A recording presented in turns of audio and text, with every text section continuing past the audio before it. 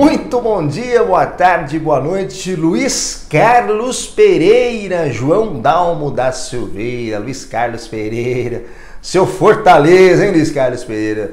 Você e o Vanginaldo Dias aí, torcedores do Fortaleza.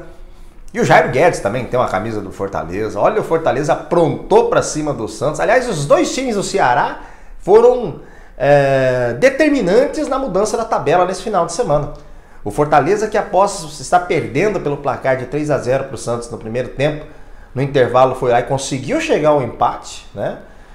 E, e o Ceará que recebeu o Flamengo e tomou uma piaba de 3 a 0 aliás, três golaços. E isso, meu amigo, quem está sorrindo, quem está com um sorriso de canto a canto da boca agora, é o meu amigo Newton Serrão, todos os flamenguistas, o Alcivan, Lucivaldo Souza, todos os flamenguistas aí de Porto Velho e do Brasil, porque olha, estão fazendo uma festa danada. O Flamengo chega aos 33 pontos, igual ao número de pontos com o Santos, mas ele tem um saldo de gols melhor que o do Santos. Portanto, o Flamengo é o líder. Se o campeonato terminasse hoje, o Flamengo seria campeão brasileiro. Aí, portanto, só, desculpa, acabei até engasgando aqui, né? O Palmeiras tem um jogo a menos, né? O Palmeiras não joga nessa terça-feira, seria ele jogar contra o Fluminense. É, esse jogo seria em São Paulo, porque o Palmeiras joga pela Libertadores da América contra o Grêmio, o jogo da volta contra o Grêmio. Então, não pode dizer isso, né? O campeonato nem terminou o primeiro turno, ainda tem o primeiro turno, faltam ainda três rodadas para terminar o primeiro turno. E mas o Flamengo assume a ponta, assume a ponta e o Santos declinou.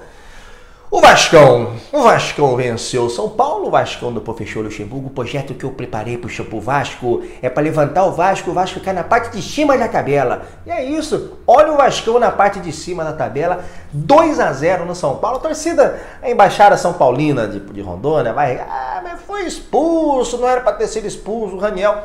Bom, vamos falar de critérios e vamos falar de atitudes. O jogador foi imprudente.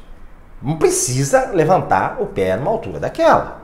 Isso é um ponto. Agora, desculpa de novo, o Daronco, ele expulsou um jogador do Santos com um minuto de jogo contra o Cruzeiro na semana passada. Ou seja, ele é um árbitro que quando ele vai olhar o, o vídeo ali, fatalmente ele muda a opinião dele.